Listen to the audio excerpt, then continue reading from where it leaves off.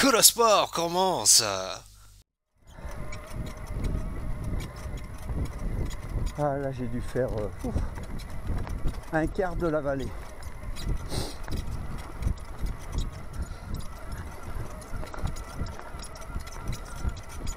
Bonjour, je klaxonne pour pas vous faire peur.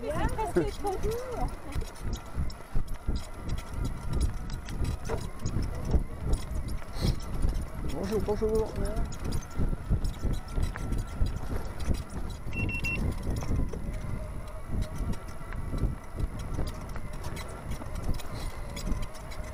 Bonjour. Bonjour.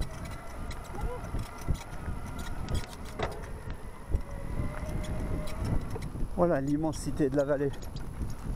Là on voit bien hein, jusqu'au fond.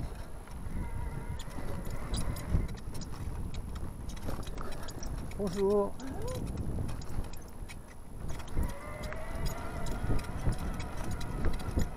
C'est quand même autorisé au VTT si on reste sur la route, si on va pas dans les chemins, qu'on klaxonne pas et on ne fait pas de bruit comme des abrutis. euh. Et un abruti, euh, je m'y connais. Donc c'est bien, il y a plusieurs endroits comme ça, donc on peut aller jusqu'au refuge, après c'est interdit. Refuge de Bec-les-Polsais. Alors on voit la pointe de l'observatoire, c'est une voie d'escalade exclusivement. Au fond, la pointe de l'échelle, juste au-dessus du glacier. Ici aussi, c'est une voie d'escalade que j'ai faite. Beau le reflet dans l'eau. Ouais, pointe de l'échelle, pointe de la partie. Alors ce glacier, il m'a toujours étonné parce que lui, il résiste. Il faut dire qu'il est dans un cirque bien plein nord, avec des grandes aiguilles au-dessus qui lui font de l'ombre. Il va tenir.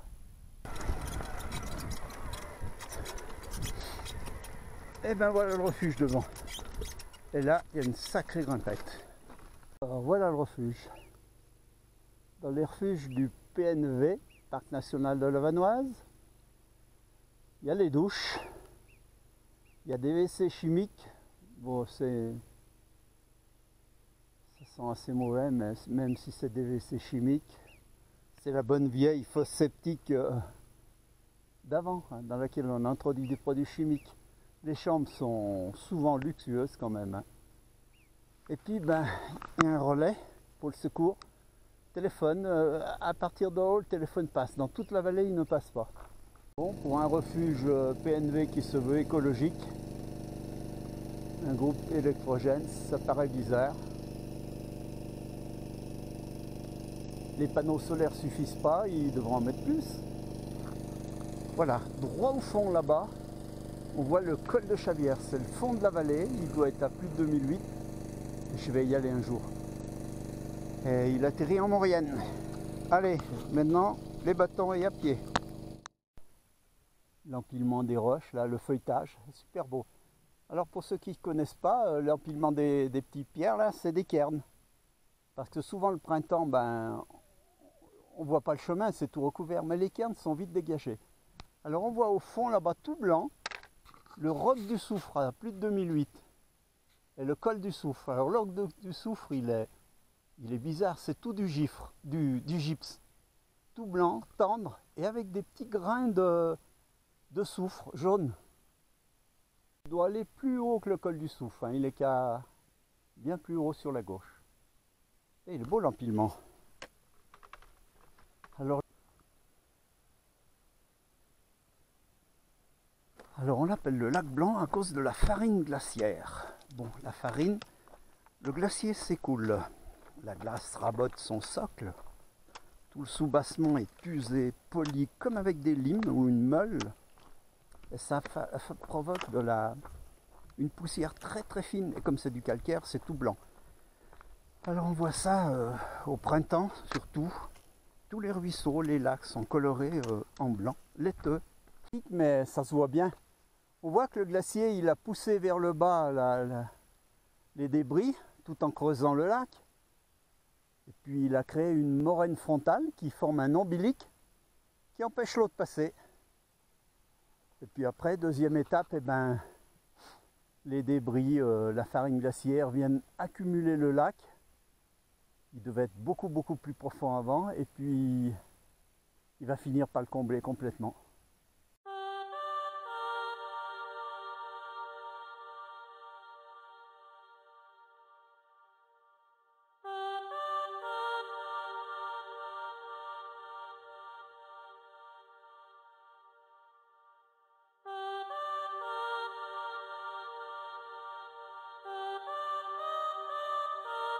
Voilà, je prends le sentier de la traversette qui me permettait avant d'accéder au glacier direct. Maintenant, il arrive au bas du glacier, mais c'est beaucoup plus long comme il a remonté. Et puis le pouls est à 112.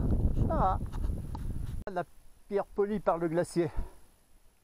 Il doit y avoir une sacrée couche dessous. Hein. Poli vu d'en haut. ça va jusqu'en haut. Hein le roc du soufre. C'est vraiment très joli au sommet. Je vais bientôt le faire. Le roc de l'Invernet, avec l'Infernet, le passage de l'Infernet. Le roc du soufre, avec ses cheminées de fée. Le col du soufre. Alors voilà le premier lac. Le glacier descendait à la moitié du lac quand j'avais 19 ans.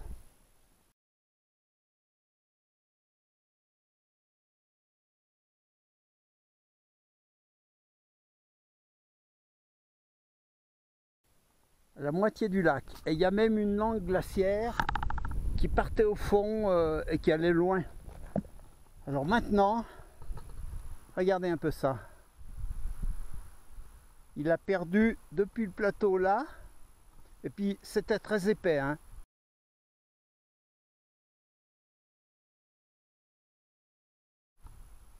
C'est difficile à estimer l'épaisseur, mais il était, puis en plus là devant il était agressif, euh, bien vertical, et puis il montait. Ben, on voit bien, toutes les pierres ont été lissées par le glacier, c'est assez récent.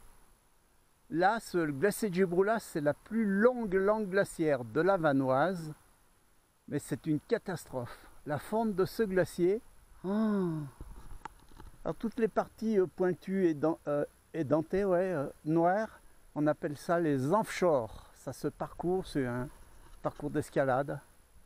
Il faut quand même bien connaître. Voilà, donc je vais aller plus près, au plus près, jusqu'à ce que la flemme me prenne. Alors en dessous, là, là, il y avait une épaisseur fabuleuse. Et en dessous, il y a un lac très profond. Le lac post-glaciaire, et, là, ça a été encore avant même. Il a formé un lac, tellement il y avait. Mais c'est incroyable à 19 ans, 74 ans. Eh ben dis donc, en 50, euh, plus de 50 ans. Ça a tous, le Covid.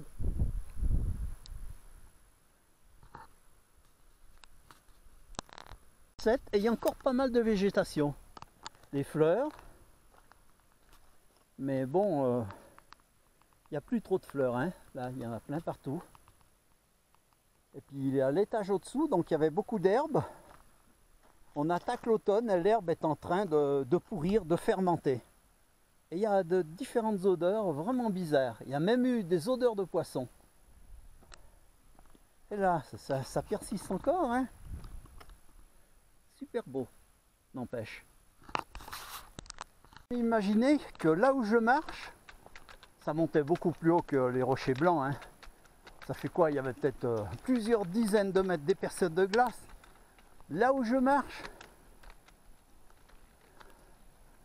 ouais, tout ce lac, il était complètement recouvert. La cascade Tofu, on n'y voyait pas. Et puis toute cette falaise là, il y a de la glace qui montait haut, la falaise elle paraissait ridiculement petite. Et puis on voit, euh, là c'est gris, il y a une séparation. Voilà le petit lac. Donc le, glacier descendait au milieu de ce lac. Mais qu'est-ce qu'il est beau ce roc du soufre? Allez, je vais continuer. Ah, c'est fou, hein. Ah, ça me scie en deux. Je vais pas m'en remettre. Ah, c'est content, c'est quand on se trouve ici, en pleine montagne, isolé, seul, que je suis content de plus habiter en ville. hein. Oh. Les paysages, il n'y en a jamais un pareil.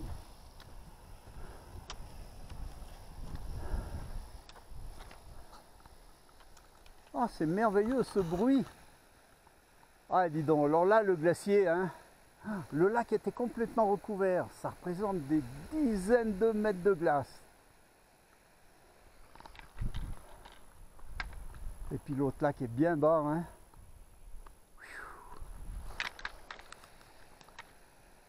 L'itinéraire pour aller à l'aiguille de Polsay ou Peclet est devenu beaucoup plus facile maintenant. Puisqu'on on navigue sur du rocher pendant les deux tiers de la course. Alors, le- parce que les crampons c'est quand même un petit peu fatigant. Fait mal aux pieds. La roche est encore blanche alors qu'au-dessus c'est tout patiné noir. Faut pas passer trop à droite hein, quand même. 150 mètres. Et il y a encore des fleurs. Et ça pousse dans du sable, c'est tout du sable.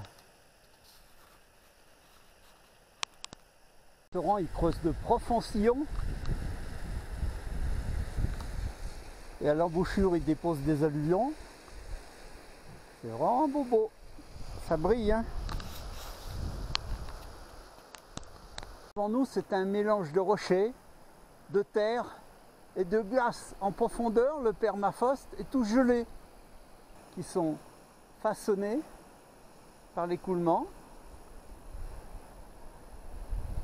Au fond, là-bas, on voit la Grande Casse, c'est euh, le plus haut sommet de la Vanoise. Ici, tous les glaciers de la Vanoise, tous les dômes. Ah, mais le mieux, c'est le, le roc du Soufre.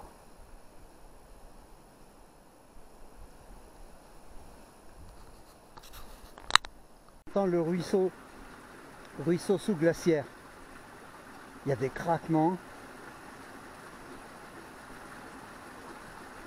Il commence ici.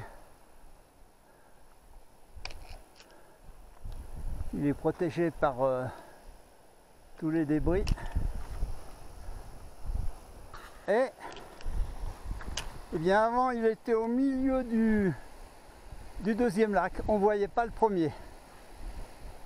Avec une sacrée épaisseur. On peut monter encore très très haut hein, à pied sec. Mais euh, comme en ce moment je ne peux pas mettre les crampons à cause d'une cheville euh, abîmée, donc je vais m'arrêter ici. Commence la descente, il y a beaucoup de vent et on voit qu'il y a des cairns, l'itinéraire a pas mal balisé. Alors qui balise les itinéraires? Ben, C'est les guides. Ça leur évite d'avoir trop d'interventions, que les gens se perdent et qu'ils soient obligés de monter les chercher. Quand c'est balisé, ça passe mieux.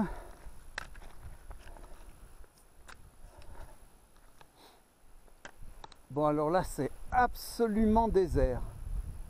Je suis seul de chez seul. De, de farine glaciaire. À la sortie du glacier, le torrent sous glaciaire est blanc.